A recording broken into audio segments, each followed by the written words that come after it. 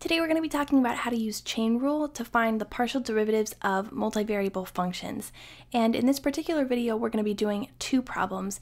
This first problem is what we call a case one type function where we have one dependent variable in terms of one independent variable. The key there is one independent variable. And then over here on the right, we've got a case two type function where we've got multiple independent variables, still one dependent variable. But the difference is in the independent variables.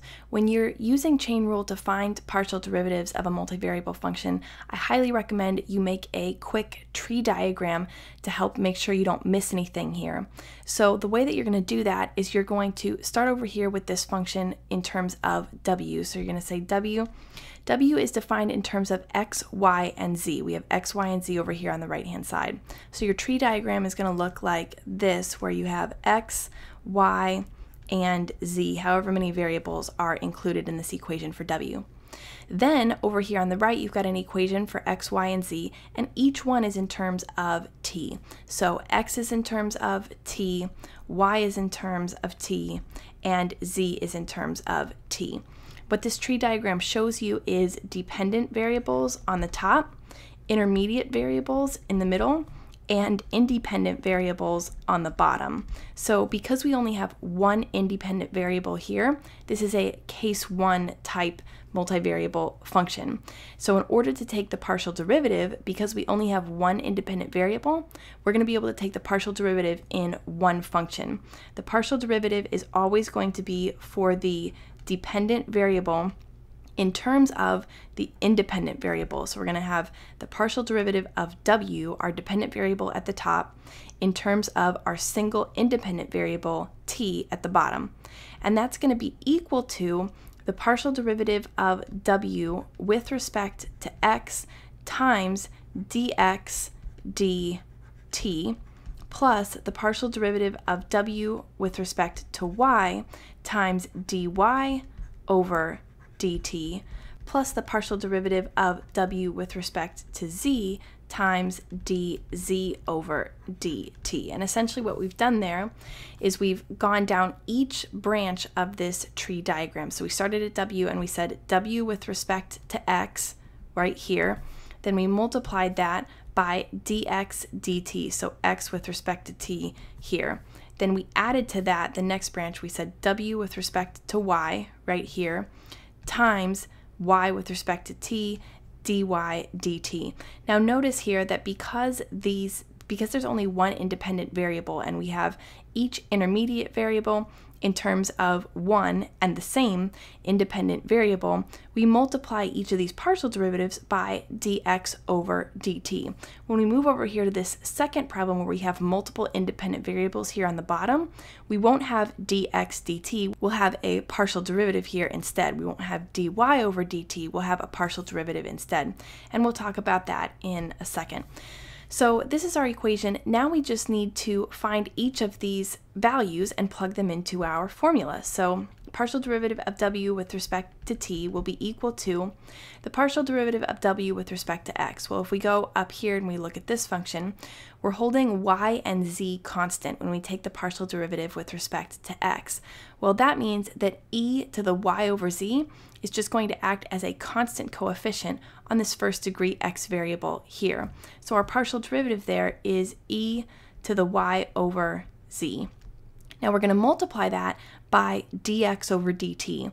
That's going to be the derivative of our x equation here with respect to t, which of course is just 2t. So we multiply this by 2t. Then we add to that the partial derivative of w with respect to y. So here we treat x and z as constants. We take the derivative with respect to y. Well, we can just look at this as w equals xe to the 1 over z times y, like this. So x is a constant coefficient on this e term here. 1 over z is a constant coefficient on this y term here. So we're going to multiply 1 over z by this whole term. We're going to bring that down in front, and we're going to get x times 1 over z, which is just x over z e to the 1 over z times y or just y over z. And if you struggle a little bit with taking partial derivatives, I have lots and lots of videos on partial derivatives, but here I just want to really illustrate for you guys chain rule instead of spending a lot more time on partial derivatives. So then we're going to multiply that by dy over dt. The derivative of 1 minus t here with respect to t is just negative 1. So we'll get negative 1 here. Then we're going to add to that the partial derivative of w with respect to z. So since we're treating z as the variable this time, let's write this as w equals x e to the y times z to the negative 1. We can move this z here into the numerator by changing the exponent 1 from a positive to a negative. So we have y z to the negative 1. So to take the derivative of that with respect to z, we're just going to get the same here, x e to the y z to the negative 1, but then we have to multiply by the derivative of the coefficient here. So we multiply by the derivative of y z to the negative 1 with respect to z. That means using power rule to bring this negative 1 down in front, and we get negative y z to the negative 2 when we subtract 1 from the exponent like that. Then we're going to multiply by dz over dt. The derivative of 1 plus 2t with respect to t is just 2, so we get times 2 here. Now it's just a matter of simplifying this as much as we can. So what we'll get is 2t times e to the y over z minus x over z times e to the y over z. And now here we have this negative and the 2 here, so we're going to get minus 2x y. Then we have this z to the negative 2, so we can move that to the denominator and change the exponent to a positive and get z squared times e to the y over z. Now, if from that we just factor out an e to the y over z, e to the y over z, we'll get times 2t here for that first term, minus x over z for the second term, minus 2xy over z squared for our third term. And this will be our final answer for the partial derivative of this multivariable function. Now, if we want to jump over here to this multivariable function where we have two independent variables, we'll again use a tree diagram. We'll say that z is our dependent variable at the top.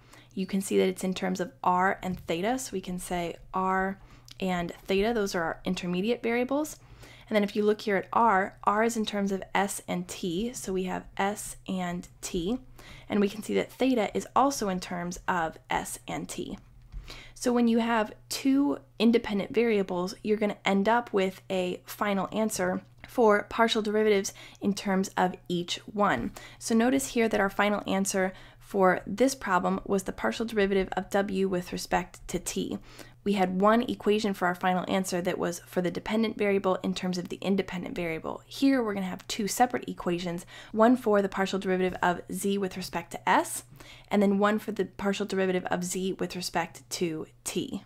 So again, if we follow our tree diagram and outline our partial derivative, our partial derivative of z with respect to s will be first z with respect to r, so the partial derivative of z with respect to r, multiplied by the partial derivative of r with respect to s. Now this is not dr ds because we have multiple independent variables. So taking the derivative of r with respect to s requires a partial derivative to separate it from t here. So we're actually multiplying by the partial derivative of r with respect to s. Then we would add to that the partial derivative of z with respect to theta multiplied by the partial derivative of theta with respect to s. Now we can go ahead and write that one out, and then we'll do the partial derivative of z with respect to t. So the partial derivative of z with respect to r, if we look here at this function, cosine of theta, because theta is a constant, will just act as a constant coefficient on this e to the r term here. The derivative of e to the r is simply e to the r. So our first partial derivative of z with respect to r is just exactly that, e to the r times cosine theta. Then we're going to multiply that by the partial derivative of r with respect to s. Well, the partial derivative here of st with respect to s is just t, because t is the coefficient on this first degree s term here. So we multiply that by t. Then we're going to add to that the partial derivative of z with respect to theta. Well, in that case, since r is a constant, e to the r acts as a constant coefficient on this cosine theta term here. The derivative of cosine theta is negative sine theta, so we're going to get negative e to the r sine theta. And then we're going to multiply that by the partial derivative of theta with respect to s. Well, here, if we pretend that this is actually theta equals s squared plus t squared all raised to the 1 half power, which is the same as the square root here, then we'll use chain rule to take the derivative here with respect to s. We'll get 1 half out in front. We'll bring that out in front. We'll leave the s squared plus t squared on the inside. Subtract 1 from the exponent. 1 half minus 1 is negative 1 half but then we have to multiply by the derivative of the inside function. The inside function is s squared plus t squared. The derivative of that with respect to s is just 2s, so we multiply here by 2s. Now if we want to simplify that, what we'll get is t e to the r cosine theta. In our second term here, we're going to get the 2 in this denominator and the 2 in the numerator to cancel, and we'll just be left with minus s e to the r sine theta, and then we have here the quantity s squared plus t squared raised to the negative 1 half. Well, if we just move that to the denominator and change it to a square root, then we have divided by the square root of s squared plus t squared. Now, if we want to, we can factor out an e to the r. So we have e to the r, and this will be multiplied by t cosine theta minus s times sine theta, and I just wrote that to distinguish it from the sine theta so that it is clear, divided by the square root of s squared plus t squared, like this in the denominator. And that's our final answer for the partial derivative of z with respect to s. Now, if we want to take the partial derivative of z with respect to t, we're going to follow the same pattern. So z with respect to t like this. We're going to take z first with respect to r, so partial derivative of z with respect to r, and then multiply that by the partial derivative of r with respect to t. So partial derivative of r with respect to t, and then add to that the other side of our tree diagram, the partial derivative of z with respect to theta times the partial derivative of theta with respect to t. Now, if we just plug in these values, the partial derivative of z with respect to r, remember we already found it, it was e to the r times cosine theta, so e to the r times cosine theta. Multiply that by the partial derivative of r with respect to t. Well, if we look over here, r with respect to t, the derivative there would just be s, so we multiply that by s. Then we add to that the partial derivative of z with respect to theta, which we already found here was negative e to the r sine theta, so negative e to the r sine theta, and then multiply that by the partial derivative of theta with respect to t. So again here, theta with respect to t, we'll have to use chain rule, taking the derivative of the outside function first. We leave this inside function, s squared plus t squared, completely untouched negative 1 half there. Then multiply by the derivative of the inside with respect to t, which is just going to be 2t. Just as before, we can see we'll get these 2's to cancel here. And what we'll be left with is s e to the r cosine theta minus t e to the r sine theta. We brought this t here all the way out in front right here. So sine theta, and then we'll divide by the square root of s squared plus t squared because we'll move that negative 1 half here to the denominator.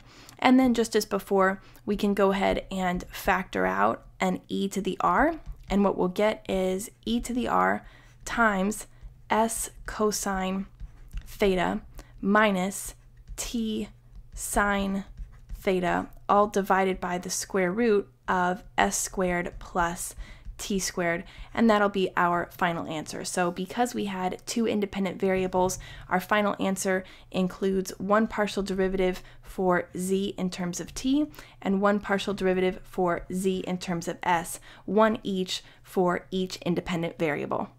So I hope you found that video helpful. If you did, like this video down below and subscribe to be notified of future videos.